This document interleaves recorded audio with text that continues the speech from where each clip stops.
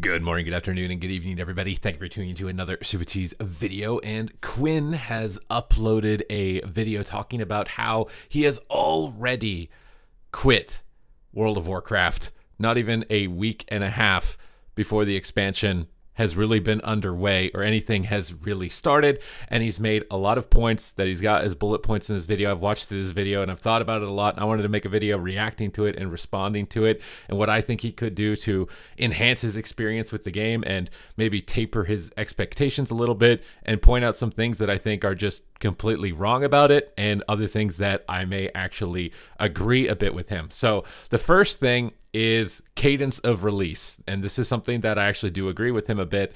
Um, but I also understand from Blizzard's perspective why they've done you know the release the way that they've done it so basically you know the season doesn't start until september 10th it's like three weeks it feels like a really long time of just no end game content i think the reason that they've done this is because they've gone into this expansion with the intention that the majority of players expect to play alts warband features, account wide, you know, features, sending gear to alts, all of this type of stuff is account wide.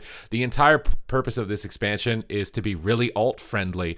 And the reason that I think having an alt friendly expansion is good is because if you've leveled through one class, committed to it, and you end up not liking it, um, it, you know, in previous versions of the game, it takes a long time to re-roll. You're just kind of stuck, and you got you got you're stuck with something that maybe you got bored of, or maybe you just don't like, or maybe it's not performing to the level that you need it to, and you're not getting invited to groups. So by having the ability to play a lot of alts, if you level a character and you get in that position where you either feel bored or don't feel that viable, you can quickly re-roll to something else, or just expand and explore every option that, the game has got. And to me, over the long term, that's going to lead to a higher player retention than just locking somebody in onto one thing because they're inevitably, you know, going to get bored with it after a while and and or that it's going to be unviable or not suited for the content that they want they're going to feel stuck.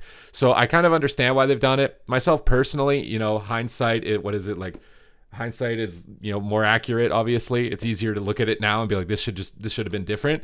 Um, i would have probably moved the release of the season a week one week earlier. So that way you had like a week and a half two weeks to prepare your character and your alts. But i understand why blizzard has done that left it that way. And i feel like cadence of release has been something that has you know had its problems in different expansions like season of discoveries cadence and things like that. So it's it's important to discuss this because it does have an impact on it. But i don't think it's like that doomsday end of the world scenario enough to like quit the game. Like, sure, maybe if you only want to play one character or two characters, do the couple things you need to do for this week to maintain it, and then wait for the 10th before you've really decided to quit the game because it's on the 10th where, you know, the actual end game really starts to get underway, whether you're dungeons, raids, or PvP. So uh, that, that would be my first point for this with the time gate. He talks about the overworld um, and how it's dead, and I just completely disagree with this. Uh, I I struggle not at all to find world PvP, and if you've seen my content on Twitch or my videos here on YouTube, I'm constantly able to find skirmishes. It's just the battles have moved their location, as opposed to the entrances of dungeons that he that he points out as a criticism. Instead, it's at high volume world quest areas or campaign choke points, right? There are certain choke points. Like when I entered Hallowfall, you look over this cliff um, and you listen to Faerin talk a little bit. And I had an Ele Shaman try and thunderstorm me off the off this cliff, and I jumped back and I killed him and I killed his friends there that were trying to laugh at me getting sent off the cliff. And it was a funny world PvP moment for me. So to me, the the overworld is fine. You just need to look at high density world quest locations. So look at the map and be like, oh, this quest has a valuable item that everyone's going to want. So if I go there, I'm going to find other players, and you can create these moments that the game has always had, some of the most epic moments that the game has always had. The, the world doesn't feel dead at all. Um, I, I think that the you know it's it's more alive than ever. I've really actually been enjoying World PvP. I log on every day and I and I find opportunities for it. He has some criticisms towards flying, and I feel like this is like more of a subjective thing. Like some people want the flying right away because they don't want to just be walking, but I can also see the argument that hey, you kind of totally neglect the terrain and bridges and cliffs and things that you can interact with.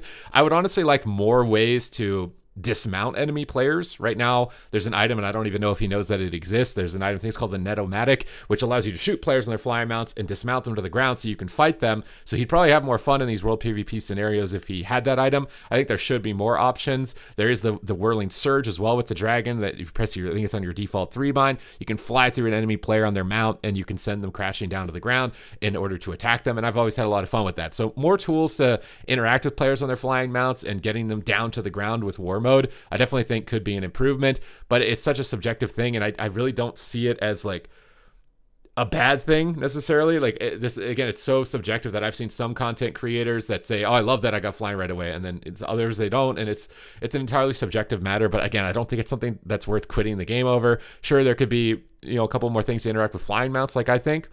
But it, it's definitely not enough for me to think that you should just quit playing the game. He talks about World PvP again being dead at this section of the video just disagree. I think World PvP is awesome.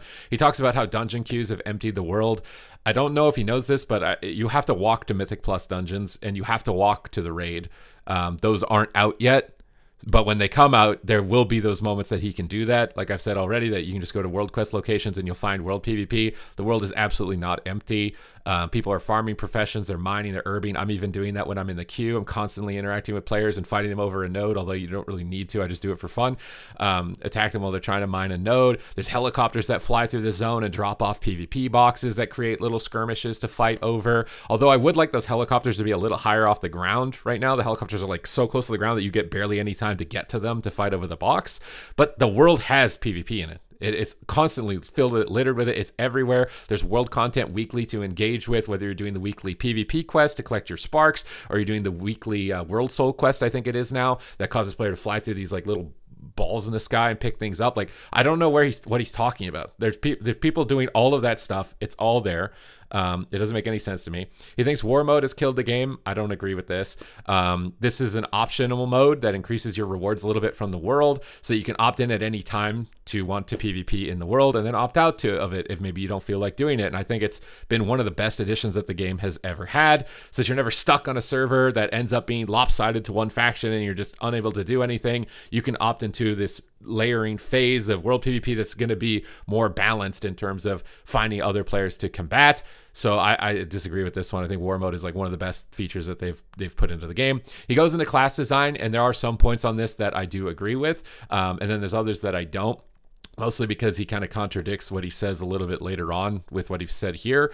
Um, and one of those things is like AoE damage. Every class has a whole bunch of AoE damage, which is absolutely true. And I do think that that was intended to try and make classes more competitively viable in Mythic Plus. And it does come with downsides in PvP, so that if you want to play more tactically with CC, it becomes a lot more difficult because AoE generally breaks CC. And this is something I think that possibly they could iterate on uh, into the future. Maybe CC effects don't break to AoE damage procs because they have done that with some AoE AoE in the past. Maybe they need to update that list to include more AoE abilities so that they don't break um, CC that frequently. But I don't really see the classes shifting in, you know, a drastic different direction, like single target, completely PvP isolated to PvE. I just don't really see that happening, at least based on the interviews that I've watched so far from class designers um, for the game. I think that's likely going to stay that way, um, which can can be unfortunate. But at the same sentiment, when I've been doing battlegrounds, crowd control is absolutely necessary. If you want to take a flag or capture a base um, or kill an enemy flag carrier, crowd controlling them, holding them in place, CCing healers, this is all like the most important stuff that you can do. It, it you absolutely have to do it.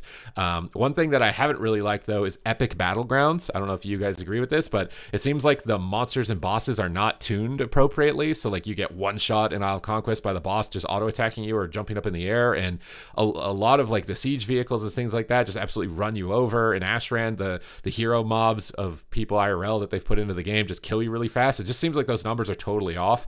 So I would definitely recommend like avoiding it. It's really unfortunate also that the weekly quest for more honor is epic BGs when they're like this because it just seems like it's just way off. The numbers are way off. So if you've been queuing epic BGs, I could understand why your perspective of PvP would likely be negative because these experiences just seem like they haven't been adequately tuned for. Um, and that's something that I would obviously like to see improved. Um, but regular BGs, world PvP, even 1v1ing, right, seems really good. Um, he talks about homogenization, which I totally disagree with. Um, I, I think that in a game like WoW that has like close to 40 specs and none of those specs are identical to each other whatsoever in every capacity is absolutely wild. That's like an amazing feat to achieve because even if we go back into older games like Super Smash Brothers for N64, we're going to have clone characters. You got Captain Falcon and Gandalf or not Gandalf, kick. Um, Uh, I'm forgetting the guy's name from Zelda, Ganondorf not Gandalf, Ganondorf, and Captain Falcon. You've got Fox and Falco, right? Like these characters are clones of each other. They have the exact same abilities, they're just a different skin. WoW doesn't have that. Sure, some specs like, hey, I've got an AoE stun, and this class also has an AoE stun, but that class probably deals with uh, defense differently than yours, or deals with mo- its mobility differently, right? So he's playing Enhancement Shaman and Ret Paladin. Enhancement Shaman and Ret Paladin share the niche of being kind of hybrid healing, defense oriented melee. So they both heal allies. They both got that similarity. But the difference comes into how they disrupt enemies. So Enhancement Shaman is very aggressive disruption. It interrupts cast, it redirects spells, it roots enemy attackers. Um, whereas Ret Paladin is much more about buffing its allies and aiding them out of disruption, freedoming them out of roots, and sanctuarying them out of stuns and fears, and bopping them from physical damage and protecting them. So while they do fall under a homogenized umbrella of being like a hybrid melee support class, they both do it in entirely unique ways that makes them feel entirely independent from each other. So I, I kind of disagree with this point. And it also goes back into the age old argument of class versus player. Players complain, like, oh, we don't have a shaman, so now we don't have bloodlust or tremor totem, so we can't literally do the raid, so we, we just don't raid tonight. So Blizzard changed it so you don't need that. They don't make boss mechanics like that, so that you can kind of just fill it in and get the raid done if you absolutely need to, which was an adaptation that the game needed um, due to limiting time schedules, the fact that they're introducing so much more solo content so that if you don't have a lot of time to play, you can still progress your character. They're trying to appeal to a wider audience. They're trying to make sure that everybody's happy. I, think that honestly, it's they do a pretty awesome job as far as um, class design outside of like everybody's AoE right now. Um, I actually think there is a lot of unique elements to a lot of specs, given the fact that there are close to 40 of them. Um, and that even though there's like a couple of similarities between each spec and what they have, they all have a unique identity right? Like there's something like a Destro Lock has Curse of Havoc that lets you duplicate your spells into a second target. Um, and no other class has that. It makes you think about your spells differently for that moment while it's going on. I, I actually think that other than the AoE, um, that the class design is actually really good. I think that the you know the PvP pacing uh, is getting a lot better because it used to be a lot worse than it is now. But again, if you're doing an epic BG and you're running into a fight that has five healers, nothing's probably going to die in that situation. And that's kind of like an epic BG tuning issue more than anything else that I've seen so far. Um, and I don't really experience that so much in in lower scaled group size groups like random battlegrounds um, and, and, arenas. And it's something that they're aware of. I think they also agree. I mean we moved into shadowlands and like link has said something like you know players have got to die you know and they, they realized the mistake of slowing down the game too much from bfa and it's been an ongoing process of trying to get that right. And it's not something that's like really simple to get right. But when we talk about pvp balance and class design for the start of this expansion. This is easily one of the most Uh, you know best expansion releases in terms of viability. There's so many specs that are viable. I think for him, it's a bit unfortunate that he picked Enhancement Shaman. If you've watched any of my tier lists, you would know Enhancement Shaman is probably like the second worst spec in terms of performance. I think if he picked something like a Fury Warrior, his perspective of the game would be completely different right now um, in terms of wanting strength and power. He's just picked one of the specs that's performing at the lowest end of it. And obviously, you know, BM Hunter Enhance, I'd like to see this class get buffs and tuning. And that's something that they do. They do, they're doing active tuning every single week. This is kind of like a cataclysmic, I'm quitting the game because he hasn't realized that all of this stuff has actually been changing actively. It's just not happening immediately right now in this week, but it, it doesn't mean that it's not going to happen. Um, he talks about PvP gear scaling. He talks about how it's basically like a template, but I don't really agree with this because any state of the game could be considered a template. If we go back to Wrath of the Lich King, your best in slot was Shadowmourne. So that's your template. You either have it or you don't and you feel like crap if you don't have it, and you, and you feel like a god if you do. Um, and then RNG loot from PVE. This is the most frustrating experience I've ever had in the game. Going into Dragon Soul, trying to farm the Cunning of the Cruel trinket that proc Shadow Bolts onto enemies, and it just never dropped. Every single week I did on every difficulty, it never dropped. I never saw it, and I had to lose to every single caster that had that trinket, and I was miserable because it never dropped. I, I really don't want to do content where I'm not guaranteed my reward, and then I have to fight people that got lucky and got in the first week, and I don't get it for a long time. I think that's really frustrating. I think that the current system is way better. Uh, he comes across a bit as somebody who wants to be able to grind a bunch of gear and then overpower players with that gear. That's what he wants to do. And the thing is, is that you can actually still do that in the game. It's just the powerful gear isn't available yet because the season hasn't started. If you get a full set of conquest gear, you will absolutely dominate anybody that doesn't have that. But the conquest gear isn't available yet because the season hasn't started.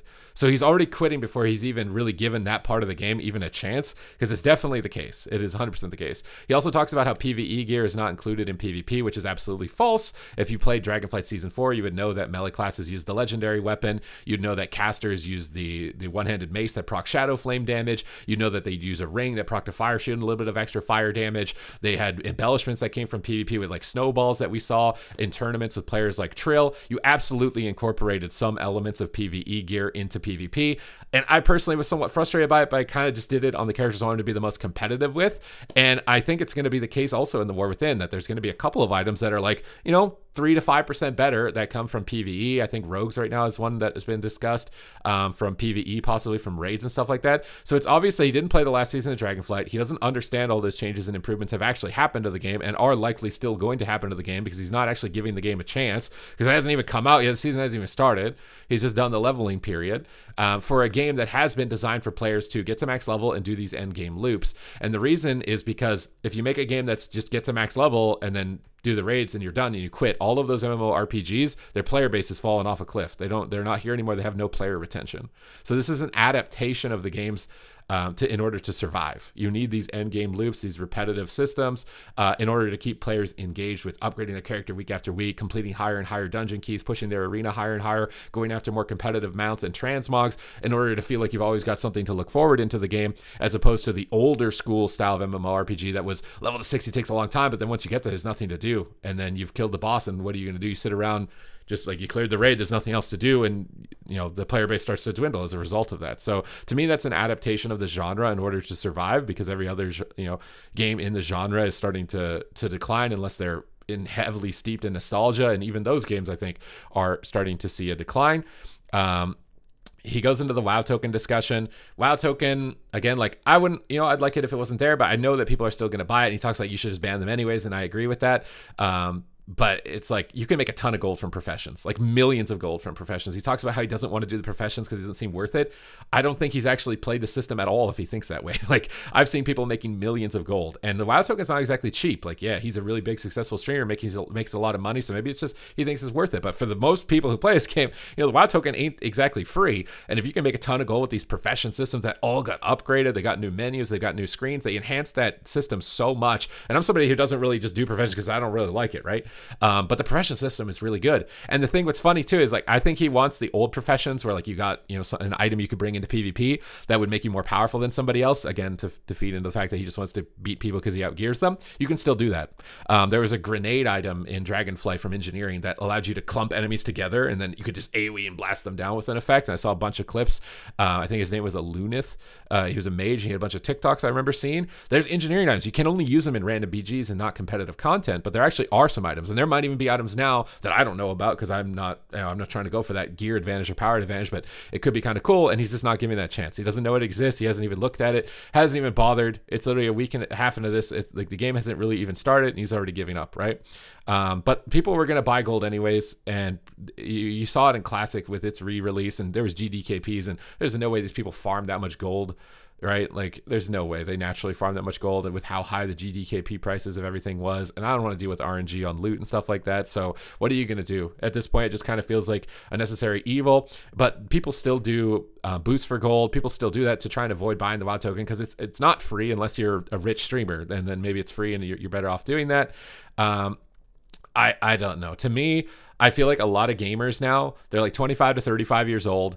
Um, our dopamine receptors are totally fried. Like when you're a kid, right? You're a little kid and you're in a car and you see a tree for the first time, you get really excited about seeing a tree because you've never seen it before. You're freaking out. It's amazing. You want to you want to see more trees. But now, you know, the video games are the trees. You've played video games for 20 years. You've seen everything, every single angle that it can possibly come from, everything that it can offer you. And this is why we see games peak, fall, peak, fall, peak, fall, peak, fall, and that's getting faster and faster and higher and smaller. And it's it's our brains, man our, our brains just humans are not uh, evolved to deal with how much like levels of dopamine and entertainment that we have access to on an ongoing basis right now right? Like it's it's crazy to think about all of the different video games we've got. Like when kids in the back in the day used to be they play with a stick in the yard they, they, you know, they didn't have TikTok to constantly scroll through an infinite number, limitless number of videos that constantly stimulate your brain. And I feel like a lot of people don't talk about this, this, this stimulation to your brain that's totally fried. So for me personally, I think, you know, he, he's valid. He can have his own opinion, his own criticisms for the game. If he really wants to enjoy the game, he should probably re-roll from enhance. I think if you play a class that's on the absolute bottom of the totem pole, of PvP balance, you're probably not going to have the best time. Ret's kind of mid pick. He seems really frustrated with healers, so I would recommend he play something like a Fury Warrior or a Marksmanship Hunter, something that has mortal wounds and high burst um, and CC that can deal with healers more effectively. And the Ret Paladins are enhanced, right? Like Ret Paladin enhanced, they're hybrid support. They're, not really the role that's ever going to be capable of like killing a healer by themselves um, in in the current design and concept of their unique place in the game. So he kind of needs to shift what what class he's playing for to enjoy it more. And I also think he needs to wait until the season starts because you can get a gear advantage. It's you know it's maybe not as much as it was before, but there's definitely a gear advantage you can get once the conquest season starts for sure. Wait till the season starts. Just do the bare minimum right now, maybe level Fury Warrior or something like that. Do the bare minimum, maintain your character, and wait for the season to start. And I almost guarantee the the perspective of this, it's it's going to change. It's absolutely going to change. But I wanted to give my two cents on this because um, I've been thinking a lot about it, uh, and I've seen like some criticisms coming through for the War Within already before it's like really even started, um, based on people's opinions of things that they I don't think they've even tried or they don't even know has changed or happened because they quit WoW for like three years and they're coming back and they don't realize it that like this stuff's going to improve, it's going to change. Um, so yeah, that, that's it. Thank you guys for listening to the video here. Hope you guys enjoyed it, and I will see you in the next one.